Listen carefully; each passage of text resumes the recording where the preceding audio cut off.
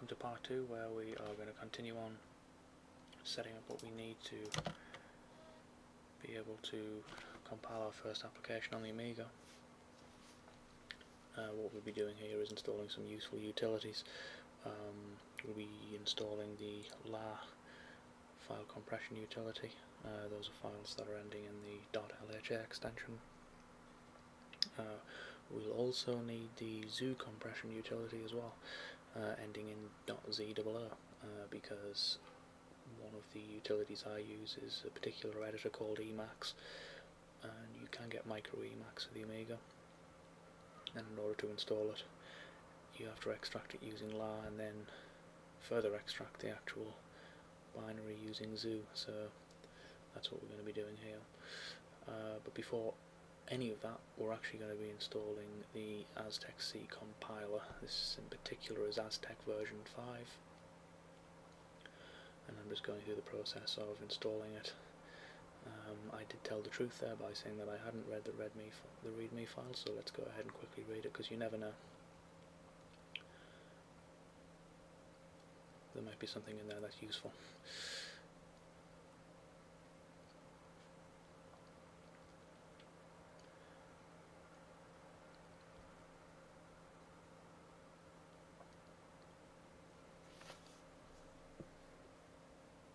Trying to get by at the minute by using Notepad, but um,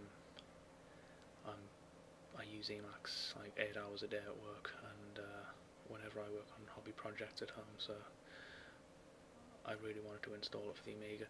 The alternative version is to actually have the emulator running side by side with Emacs on the host operating system, which you'll see me doing at some points during this video.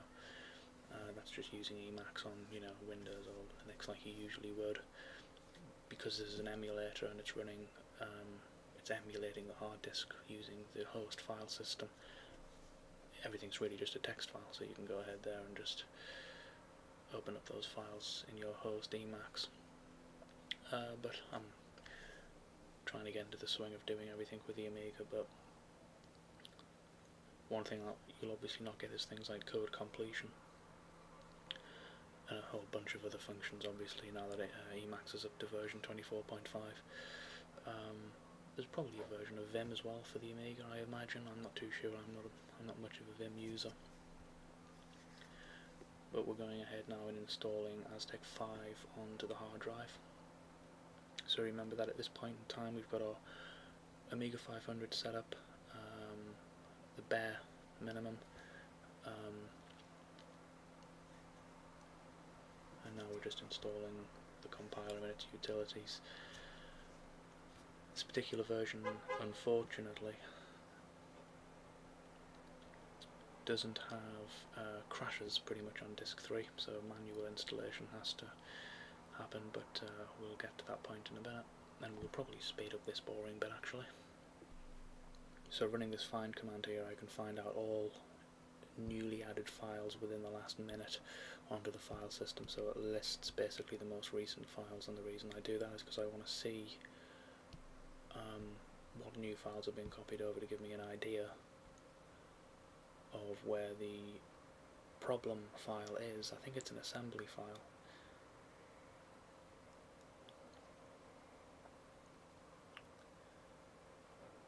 One of the problems with this installer and one of the reasons why I like doing things manually is be because of this situation. So one of the files is corrupt and we get that message coming up in a second so it decides the installer that it decides to just completely crash, completely finish everything it's doing. That's it. One little corrupt file. Now I'm not going to go ahead and copy anything else, which is annoying. Because all of this is really is a wrapper for just doing manual copying anywhere. There's nothing special going on here whatsoever. I just highlighted the most recent files, and here we are, ASM exec, exec base.i.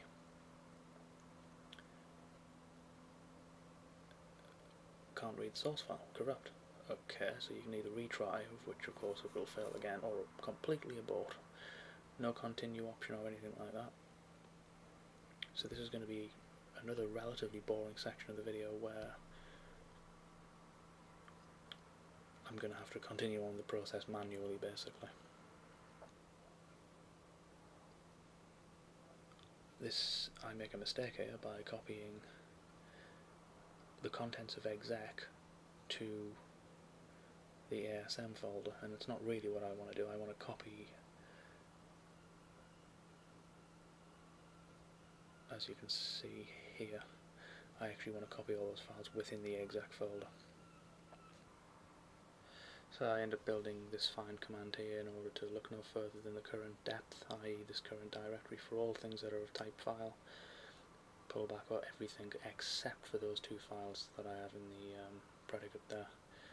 I don't want exec.uaem and devices.uaem because they were there originally. All the rest of the files I want to go ahead and move into exec, which is, as I said, what I originally intended. And we can do that with this command here. And there we are, back to normal in this directory in exec now finally has the contents of which it should have had had the installer worked properly. Um, I do think there were one or two files that didn't get copied over but they're not essential anyway for us so it doesn't make a difference. Um, so at this point this disk got stuck at exec so there are also some directories therefore that it failed to go ahead and install or copy over should I say. So we're just going to go ahead and manually uh, copy those things over. And there are some really important tools on this disk as well, so we couldn't have just stopped and just hoped for the best because I think uh, well the C the C library is actually on this disk for example. So you're not going to get too far at all without that unless you want to re-implement all the standard functions and that would take a whole bunch of time and effort. We don't want to reinvent the wheel. It's already there for us one of the other good things about Aztec as well is it copies over some really useful binary tools. Uh, things like cat, things like ls, um, which you don't get by default, and coming from a Unix-like background, those really are awesome tools to have. You know, um, grep, diff, these are things that are used common it's second nature to me now to cd into a directory and do an ls-l. That's just what I always do implicitly. It's always happening because I, it's just what I do without even thinking about it. So trying to get used to dir is quite difficult. Um, so here I insert the fourth disk, which is the fourth and final disk for, Az for the Aztec compiler. Aztec tools, I guess we should probably call it. And actually disk 4 is really important as well because it has, as you can see there, an examples directory and the examples directory um, is a lifesaver in a lot of uh, a lot of times because it actually has real world examples of code and uh, interfacing with intuition. Uh, very important folder yeah, here I am going into the general examples and having a look at closeme.c. Uh, we'll actually look at this again a bit later on. Uh, that was just to prove that it is indeed there.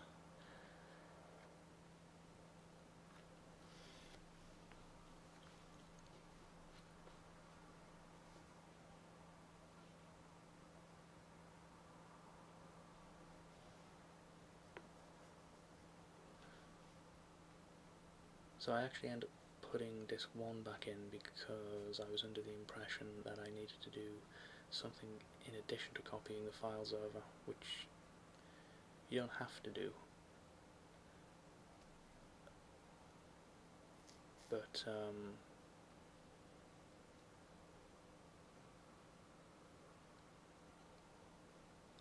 there is an Aztec shell script called aztec.sh which just does nothing more but set up uh, some environment variables and additions to the path um, which is what I'm going to go ahead and have a look at here. You can see that you add the Aztec binaries to the path and some very important uh, variables such as the include directory, the um, the library path as well. But at this point I'm kind of getting a little bit sick of using Notepad so I go ahead and um, copy over the tools that I need to run and get Emacs installed, micro Emacs. This is one of the good things about having the emulation running as well side by side is um, you can go ahead and modify things on each side.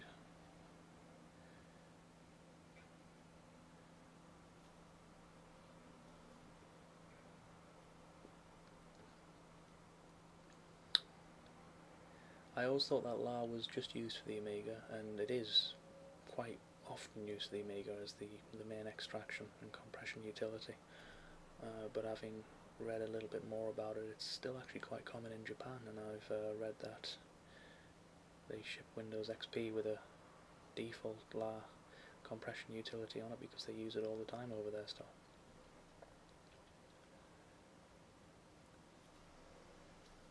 and you'll have noticed my alias CP copy again, that's because I'm so used to just typing in CP to copy stuff over. Yeah, so what we're doing here is the Aztec dot, the Aztec script is above there, and we've just split the window, so we've got two buffers, and we're loading up our startup sequence file. Um, we must go ahead and set these things before load WB gets called.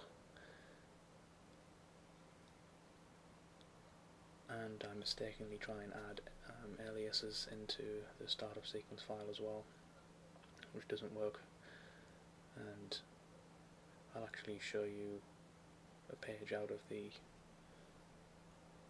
Amiga DOS book that I've got which explains why it doesn't work. I'll go ahead and copy that and paste it into here so that means that every time Workbench starts we're it's running those things before well before it loads Workbench.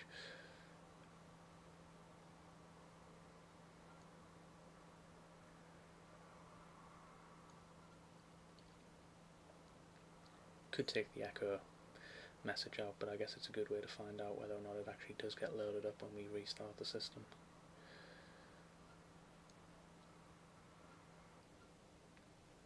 So we end up getting an error message here because of course alias is absolutely unknown.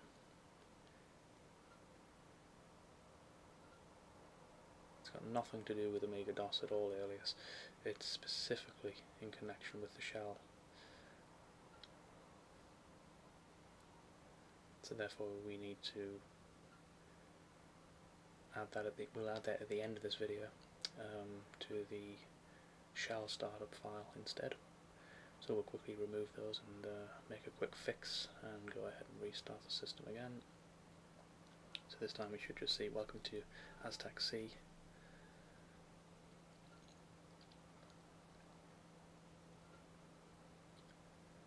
I'd be interested to find out where Shot got his nice looking Workbench 1.3 from as well, so perhaps if you do look at this video, Shot, you can send a, you can leave a comment which uh, suggests where it might be available or how to get it and then goes ahead and compile and uh, converts the C instructions into machine language so therefore what have we got? Well we've got something called main.o and after that we have to link it against the C library as well the reason I ran main.o there was just to prove that it's nothing more than an object file and it's not linked against anything so it's not going to run, it doesn't know anything about main or anything like that until you link it against the C library. Um, but as you can see there's our hello world output and we're all done.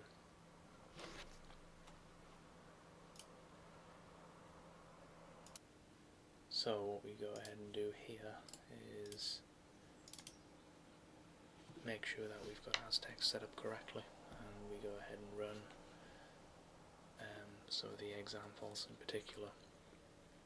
A very awesome example which demonstrates intuition very well um, called close me where the user has to try and click the close button on the window but the window keeps on running away from you this is the general examples and we're just printing out the contents of the make file and it's too big for a single shell screen so let's open it up in Emacs and have a look at the make file for closeme. As you can see it depends on closeme.032 which is a object file built with 32-bit integers etc. so the .c.oev target there at the top is the command that will compile the closeme.032 and once that's created the dependency is there to go ahead and finally link that object file against the C library.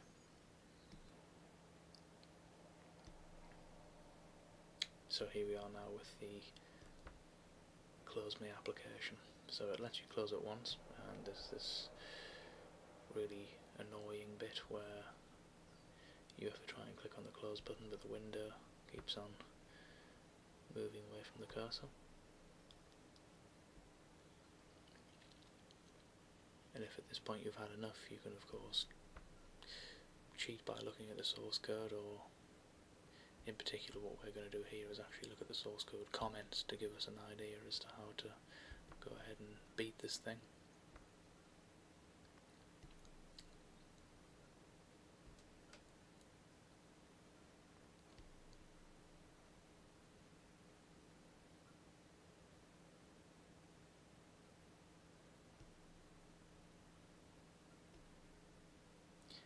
This is what I was talking about in terms of using Emacs on the host machine um, to develop applications on the Amiga, which is quite a useful thing.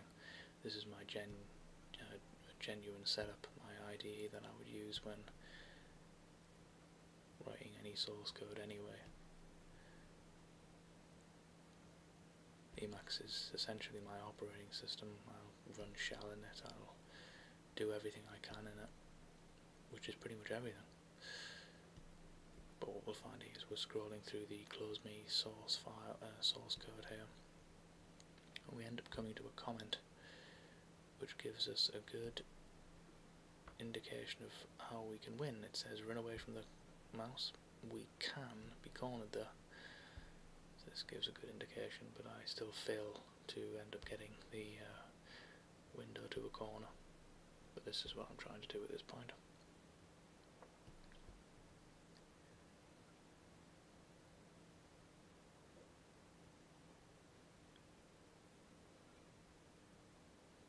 We get there eventually, but it's a brilliant demonstration ports and windows and screens in um, yeah, using intuition.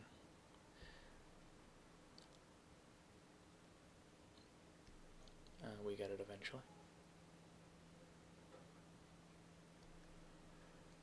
And the last thing we end up doing here is we apply the alias that we want to this, uh, the shell startup file rather than startup sequence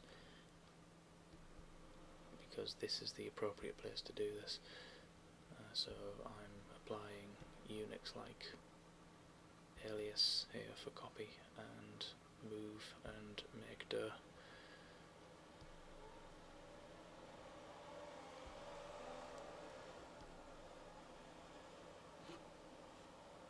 Because it's just natural, it comes natural to me to go ahead and type things like that. And that's really it for the video on the second part here. I'm just proving that these commands are working. Of course, they require arguments, so the fact that it's giving me bad args is a good uh, is a good indication that the alias is working. So here is our Amiga DOS Inside Out book that I've got, and within it a particular page which tells us about the alias command, which is particularly shell only. In addition, I've got the Amiga C for Beginners book and the Advanced book, two which I'll show later on but in particular the Intuition Reference Manual um, created by RJ Mical himself. So thank you very much for joining me on the second episode here. We're all up and running, we've got our compiler, our linker, we've got our tools in order to build our first applications and we've gone ahead and proved that all of our tools are working.